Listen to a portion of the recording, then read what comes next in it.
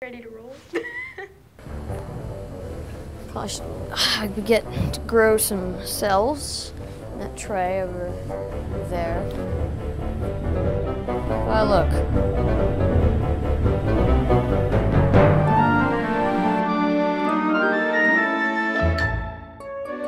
And I have to think about what I just said. Shame. We saw a lot here today, from species of plants to species of corns. We've been through everything. We study science. Yeah. Ah, I get lost, lost what to say. Six, seven, eight, nine, ten, eleven. Wh- Where'd you get the sound guy?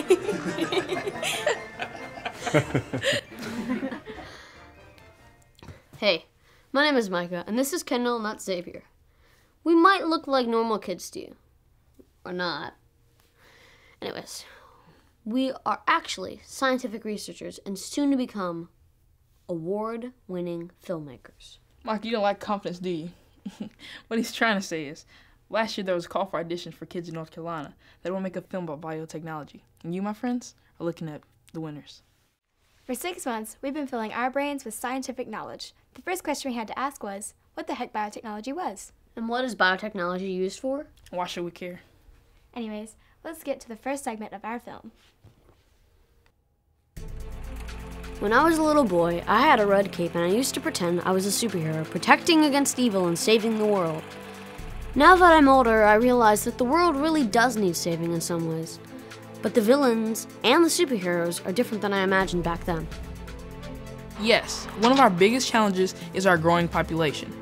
I read that there are 6.8 billion people now, and that in the next 40 years, it could grow by 38%, which would mean that by the time that we're old, there could be between 9 and 10 billion people. Can you even imagine? Almost 10 billion people who need clean water, fresh air, safe food, vaccines, and medicines. All those billions of people who need energy, dudes. People gotta light their house, run their computers, wash their clothes, fuel their cars. How's this to happen without ruining the environment?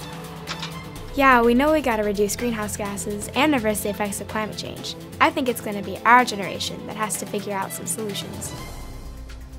Okay, chill out for a minute, guys. There's a whole lot of doom and gloom. But the good news is there are already thousands of brilliant scientists working on answers to these challenges. And that's where biotechnology, our superhero, comes in. Biotechnology is a toolbox that uses living things, their cells, or even the tiny molecules inside the cells to make a product or solve a problem. Some of the products have been around a long time, like bread and cheese. But today, if you have diabetes, some kids do, there's a good chance that you are taking human insulin that is produced in bacteria grown in a laboratory. It's exactly like the insulin that we make in our own bodies. Before the 1980s, diabetics had to take insulin from cows. When you think about it, a lot has changed, but the basic problems people face are still the same. We need to eat, we need to stay healthy, and we want the planet to be a good place for our kids to live. After you watch our film, you'll start to see that results of biotechnology are everywhere. So we wanted to highlight scientists working in North Carolina, which happens to be one of the leading states in biotechnology. My focus was healing, and I found out that there was a field called biopharmaceuticals. This means developing and manufacturing vaccines and medicines. So if you have anybody in your family who has diabetes or cancer or MS, they're probably using medicines that were developed and made here. Beyond medicines, though, there are also scientists who are always helping people to heal by growing new tissue or organs for people, often right from their own cells. It sounds like science fiction, but it's real. Take a look. This is downtown Winston-Salem. We're at the Wake Forest Institute for Regenerative Medicine. It's time to see what the researchers here do.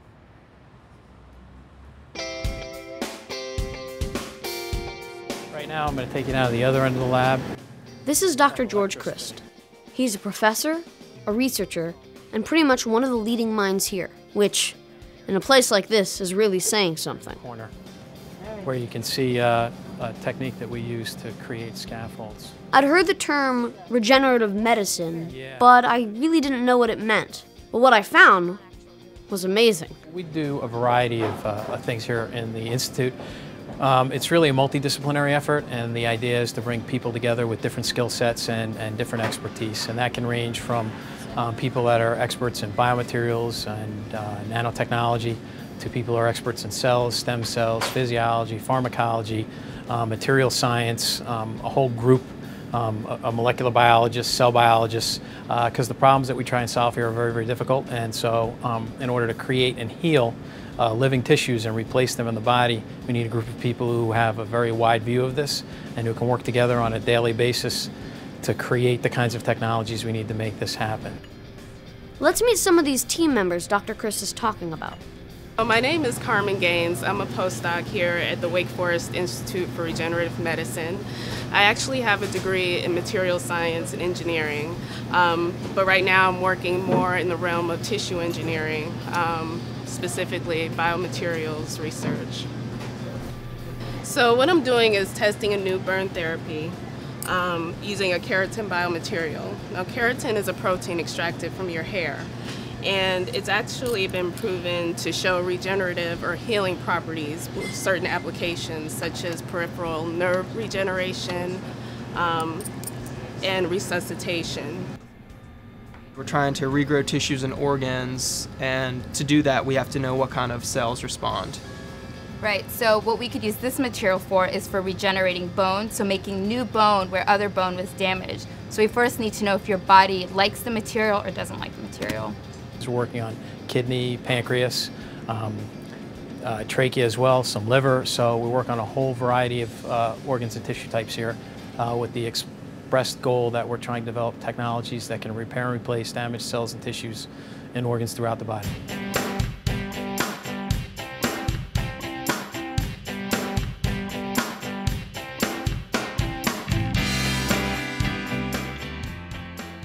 Do you have any examples of like a, a whatever. How, yeah, how scaffolds. So we talked huh? about scaffolds before, and actually, oh. you know, right here we had uh, set out a couple of examples of scaffolds. So scaffolds are one of the two basic building blocks for regenerative medicine, right? The other is cells. So you think of it as bricks and mortar, or the hammer and the nail kind of thing. You have to have something to put the cells on. Okay. made of fiber or what? Yeah, so these can be made of all different kinds of materials. So right here you see something that might be used to recreate the digits in the end of your fingertip.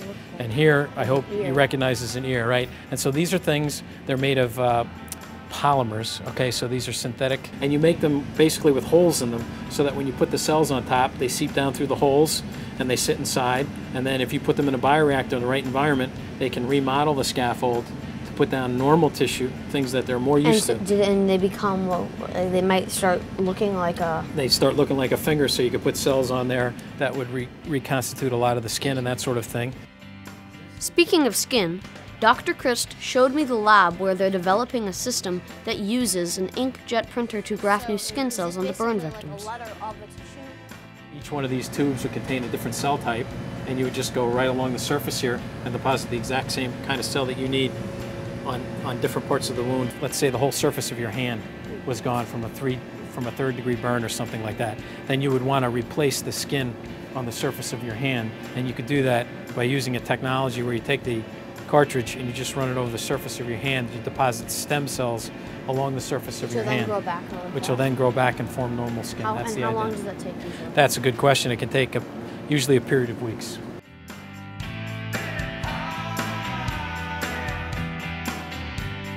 So, in order to get into this, what degree would you have to get out of uh, college? Uh, it's almost like in all kinds of minds. It doesn't really matter what your orientation is. If you're an artist, um, we do a lot of di digital imaging and a lot of 3D modeling, and there's a lot of visualization that goes into actually making this a practical reality. If you're on the legal side of things, we have to protect our patents and our intellectual property in order to profit or get people to invest in what we do. We need the people that educate the, and train the physicians and, and, surgeons that will actually use these technologies. We need the business people to create the businesses and the business models that can make this profitable so that there's money that flows into and out of this so that we can afford to do this.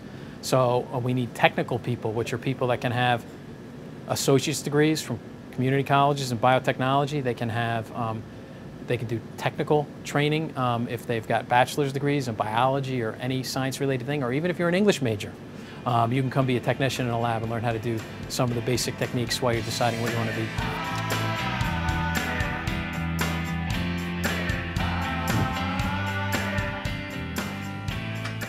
Well, I could get used to this.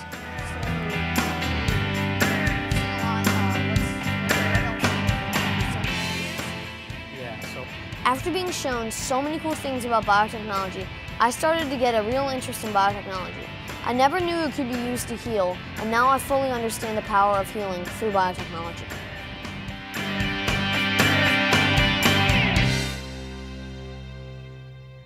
I look into a very different part of biotechnology called green biotechnology or agricultural biotechnology. Researchers working in this field are just likely to be found in a cornfield as in a laboratory. Let's take a look. We're at BASF Plant Science. As you can see behind me are some research greenhouses. Let's go check it out.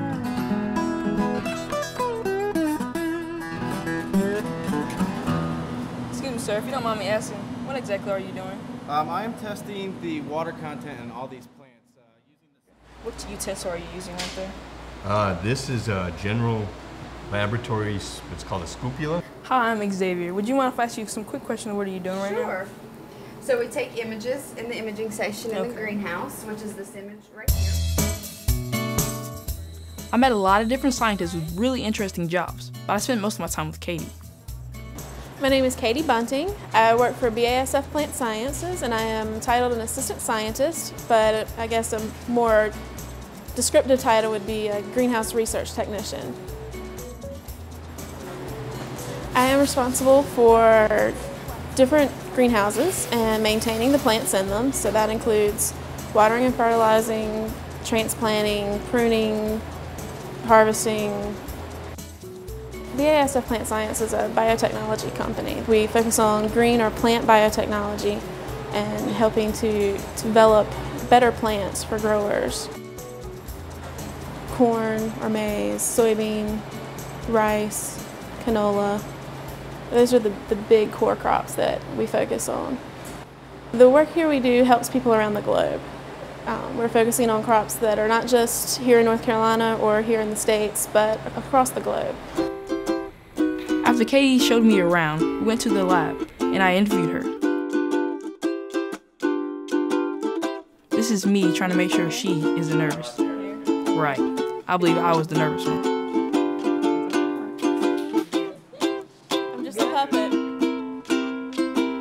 I wonder what my football team is going to think about this.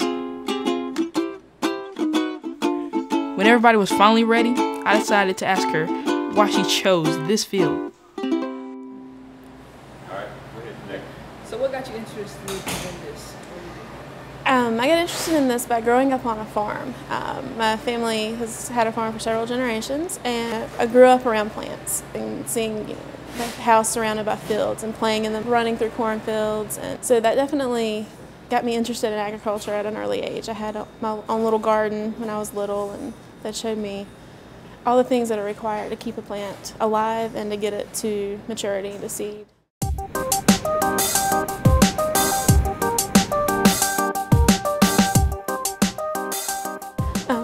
Have a wide variety of, of jobs here within the BASF Plant Sciences, starting here with the greenhouse, all the way up through researchers in the labs to marketing people, lawyers, um, regulatory, business MBAs, um, all sorts of pretty much everything. It takes a whole village. If you don't mind me asking, what are you doing? Hi. How are you doing? I'm good. Xavier. Hey, nice to meet you. Nice to meet you too. Um, we are studying corn, Mm-hmm. And we're looking for ways to grow bigger, more nutritious corn. Um, and in this experiment, we've harvested years. It could take more than 10 years for a crop to go from being created in the lab to being grown by farmers. The big thing I love about my job is growing the plants. That's one of the things I've always enjoyed, even as a little kid, is playing with the plants. So that's the big thing that keeps me coming in with a smile on my face every day. But you know, it's also being a part of the big picture and making those say, okay, you know, I grow these plants every day, but there's a reason that I grow them. and that reason is really cool. And I'm really excited to be a part of that every day, to come in and say, okay, me watering this plant is great for me today, but it's going to make a difference down the line for everyone. Katie and the other scientists are using biotechnology to make sure the farmers will have healthy seeds to grow crops to help feed the world.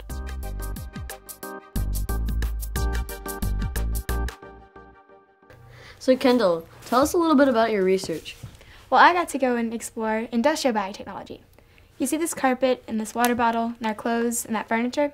Well, that all has to be manufactured. And when we manufacture it, sometimes it makes toxic waste. We have to deal with that. You see this water bottle? It's made out of synthetic fiber, or plastic. Industrial biotechnology scientists are trying to figure out ways to make all this stuff and fuel for our cars using renewable resources. They can make all that by using molecules from living cells called enzymes. One of the leading companies in the world in developing these kinds of enzymes is called Novozymes. You could tell that from their name. And their North American headquarters is located in North Carolina. That's where I got to go. I'm here at Novozymes to interview a scientist about how they use enzymes to make biofuels. Let's go see what he does. And then I realized I could actually just dump the oil. The My name is James Kronenberg. I work at Novozymes North America. Uh, what we do here is we make enzymes uh, for a variety of different applications. These are all marketing offices here. Uh, the, the main purpose, I would say, if you want to look at it from this angle, is that uh, they can replace petroleum products. So it's a way to make the world more sustainable. You guys have a lot of paintings on the wall.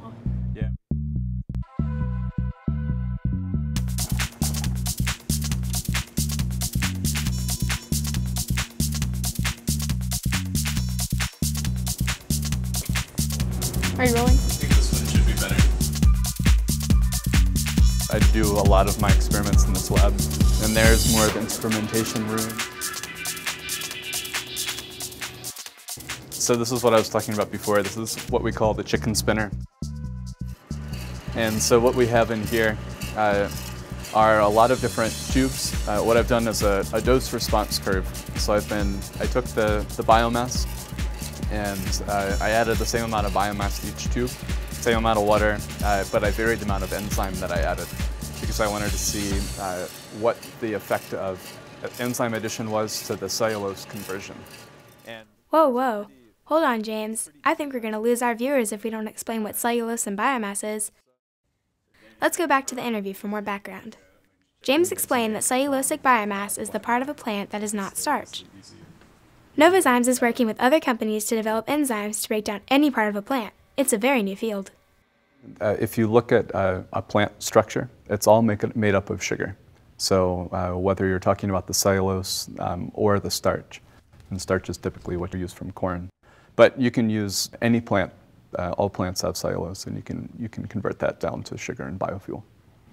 Anything that has essentially paper or, or that fiber. So I, I've been working with a company who actually what they've been doing is they can go to an office building and take all their trash and what they can then do is they can separate out uh, the plastic and they can separate out all the ash. And they can separate all the glass and all the metal. And then they also have all the fiber, which is all from the cardboard and the waste paper that people throw away. And that fiber is made up of sugar. Uh, and then you can convert that fiber through, with our enzymes and with some heat. You can break that back down to the sugar and then you can ferment that to ethanol. So you can make biofuel from that too. Uh, so it's a really neat process because uh, they are literally taking trash that's being thrown away. Uh, for me, biotechnology is uh, a way to, to ease the world off of petroleum products. If you look around your house, uh, most of what you see, a lot of what you see is from petroleum. So anything that has plastic in it uh, is from petroleum. But what we can do with biotech, one of the things that we're actually working on is taking that sugar and then you can convert that to plastic. So that's, that's pretty cool because that uh, allows you to grow the plastic as opposed to pulling the plastic out of the earth. Because you're displacing petroleum products, uh, you're uh, not emitting as many carbon uh, molecules into the atmosphere. So it's not as big of a generator of greenhouse gases, uh, which should help with climate change. Are you rolling? Okay. Um, what are some of the other jobs and things that other people do at Novozymes? There are a lot of different jobs. I would say, you know, it ranges from people working in the finance to there's, uh, at this site, uh, there's people who actually produce the enzymes. So we have a whole production and then optimization group. Um, we also have people who are doing more of the formulation side. So product uh, generation. We took each one of these Is this the break What game are you playing? Oh, we are uh, discussing some of the ideas that we have for uh, increasing the amount of ethanol that we produce. And then we have people who are marketing the enzymes, and we also have the people who are really doing the in-depth research, the research and development R&D group. Um, I'm analyzing samples that we received from a bioethanol plant. Um, they're actually converting corn to ethanol, and I'm just seeing how efficient that their process is because they're using our enzymes to do that. I got to see lots of people doing lots of things, and it turns out that this is only one of the many research locations this company has. This is a Danish company, so there's a group over in Denmark, uh, and then there's a group in China, uh, as well as Japan, and then also a group down in Brazil. It's been really exciting. Uh, the people here are, are, fun to work with and very smart uh, and motivated to, to find ways to make the world more sustainable. After work, James and his colleagues like to go outside and play soccer. It's kind of neat that there's a cornfield right beside their soccer field. So today I learned that biotechnology creates biofuels that makes our environment more sustainable. That means that when I get older, my car might be running on corn or something. So now that I've seen this at work, I think that maybe when I get older, I'll be a scientist too. So these scientists like to play video games and soccer. They like to play as much as they like to discover new things.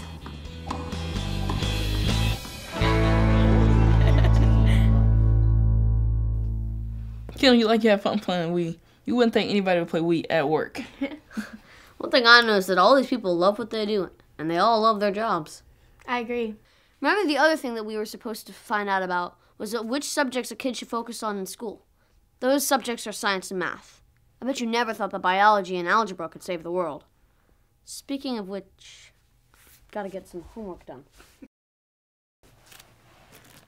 you looking for something? I can't believe you still have that. Captain Biology.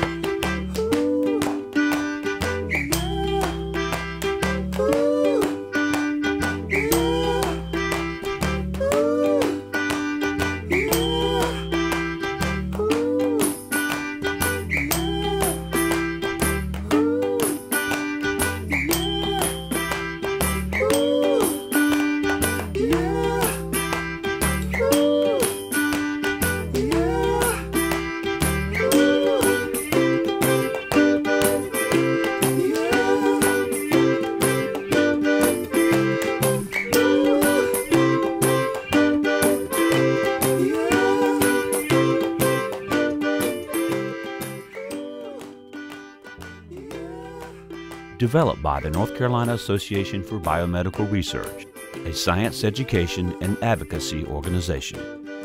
Funding provided by the North Carolina Biotechnology Center.